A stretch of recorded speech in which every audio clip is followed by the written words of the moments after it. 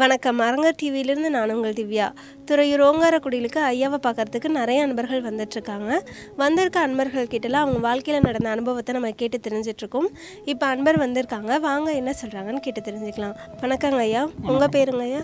ராமச்சந்திரன். நீங்கள் எங்கேருந்து வரீங்க? நாங்கள் துறையில் தாம்மா. துறையூர் தானே. எத்தனை வருஷமாக இங்கே வந்துட்டுருக்கீங்க ஐயா? ஒரு முப்பது வருஷம் வந்துட்டுருக்கோம்மா சரிங்க. ஐயா முப்பது வருஷமாக வந்துட்டுருக்கேன்னு சொல்கிறீங்க நீங்கள் உணர்ந்ததை அரங்க டிவி மக்கள் பார்த்துட்ருக்காங்களா? அவங்களுக்கு சொல்லுங்க ஐயா. நம்ம இங்கே வந்துட்டு போனால் மன திருப்தி இருக்கும். ஐயாவை அடிக்கடி வந்து பார்த்துருப்போம் நாங்கள் அடிக்கடி வடலூர் போவோம்.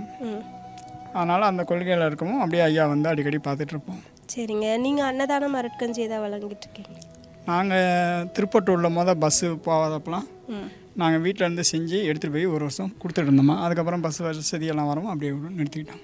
சரிங்க ஐயா.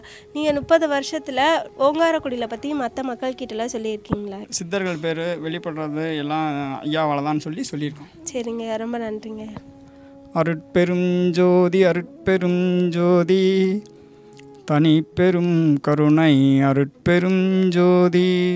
வாழ்க வாழ்க வள்ளல் மலடி திருவடி பால்க. ஓம் அகத்தீசாய நம.